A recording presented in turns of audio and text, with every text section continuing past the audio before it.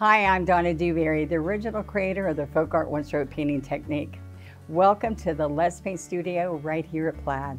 Learning to paint has never been as easy as when I teach you how to load a brush with multiple colors where you can blend, shade, and highlight with one stroke of the brush. Our new program with Let's Paint Folk Art One Stroke this year is going to be all about learning how to paint 50 different types of flowers.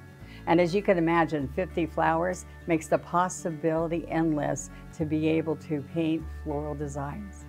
I'm thrilled that you've chosen to join me on this one stroke journey. So let's paint. So let's paint a Queen Anne's lace today. And what we're doing is we're going to be using a reusable teaching guide where we can practice our strokes. We're using Folk Art Multi-Surface Paint listed right there for you which will be wicker white, citrus green, and sap green. And then we're using our brushes are the one stroke brushes, which are a half inch scruffy, a two script liner, and a 5 8 angle brush. Now we're going to make the stem and put it on, and we're going to paint this stem right on our surface after we practice on the other side of the sheet. So now what we're going to do is we're going to look at what we're going to paint here. We're going to do stems we're going to use a little greenery that holds on the lace part of the flower. We've also taken our 5 8 brush, put it in water, dried it off so we're ready. We're going to be using the chisel edge of this brush and it's got a toe and a heel on here. So what you want to make sure of is what color you want to follow to get the fine line on this brush.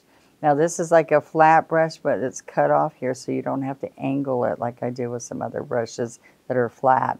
Now what I'm going to do is I want the sap green on the toe. So we're going to come right in here in my double loader, split the brush color right there as I'm picking it up, and then I go in a cubby. I don't split it to work it in, okay? So you split the brush, come here work it in. All right? So this is just a tall stem that's going to come in the middle here. And so practice it till you get it nice and thin. All right. Now I'm going to come right over here and I'm going to decide up there where I want that stem to, the blossom to be. And I'm going to do another one right down here. Okay. So we wash that off and now I want you to feel comfortable with doing these little guys with the script liner. Okay. Now what I want to do is have both colors in here. So we're going to get a little citrus, a little sap. We're going to work this in. Now I am going to, only with this brush, um, it's probably the only brush you'll ever see me using water as we paint. If we need any moisture, we use floating medium, but not for liner work.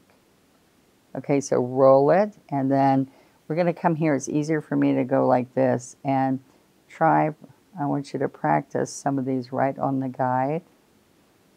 All right, so see, we also have some that I like to bring underneath like this.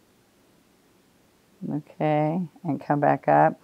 And we also have some of these little guys here, that tendrils that come down from here, if you want to, to make um, another fun look. Now, I'm going to clean that off and wipe this with um, a wet wipe or a wet paper towel and see it starts drying pretty quick. So make sure you wipe it in between strokes. Now we're going to prep our piece now for um, these little fun flowers to go on top. So what I'm going to do is I'm going to pick this up. I've got the paint already on here. And I'm going to spread it out. It looks like an upside down umbrella. Okay, so think about that as you're doing this. I'm going to come here and I like to take and move it just like that first.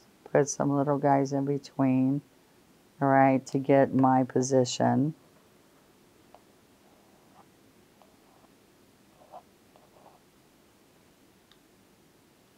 Then let's fill in between that. You'll notice my little finger where I'm steadying.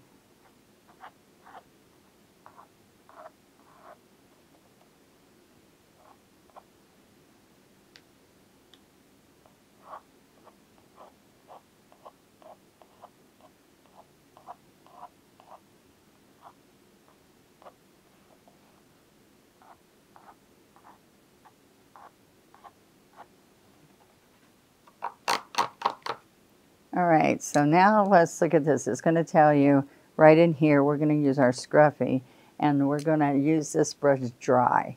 So it's natural hairs. We don't want uh, to wet these hairs except when we're cleaning the brush, all right? So I'm going to pick up a touch of wicker white on, it's an oval, so on one end of the oval, I'm tapping some white, and on the other end of the oval, I'm tapping some citrus green. So if you're pouncing that out there, this is what you're going to be seeing, okay? So, and you're going to keep coming here, and they're tapping tight taps on here, type. And you're going to move it around like this. See how I'm up and down, up and down. And then afterwards, I can put a few more of these little liner uh, stems on there, okay? So let's wipe this off. And I'm going to put this on this side so you can be watching it. Now, let's pick up fresh wicker white, not in the middle of the puddle ever, always on the outside edge, okay?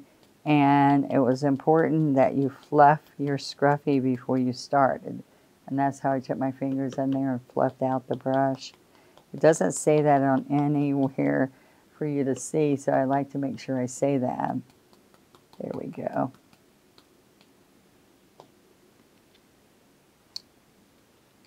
Okay, now we're going to take the handle of this brush and we're going to dot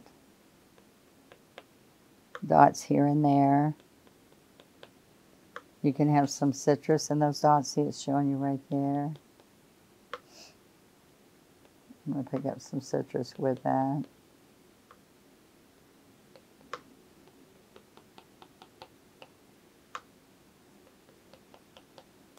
The last thing before we're totally finished is wipe off the end of that handle or you'll get paint all over you. And then I'm going to go back into some water into the sap green and roll that brush before you start painting with it and then come right in here and I take a few out into the paint here. See, that's going to make it look more natural. You start here. Don't go down that stem with these. Make sure your umbrella starts right here. And Okay, so the only thing I do last on this is I like to come in here and have a few of these little guys coming from here. Okay, and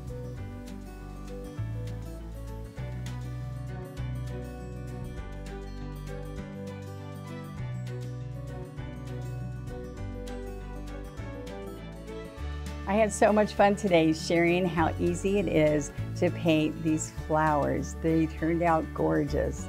Remember practicing on the reusable teaching guides right over my strokes gives you so much painting confidence. Thank you for joining me here in the studio. And remember, we just learned one more of the flowers from the A to Z One Stroke Floral painting sets. And I would love for you to take pictures and share them on our Let's Paint with Plaid Facebook group by hashtagging Let's Paint Challenge. Come on, everybody, let's paint.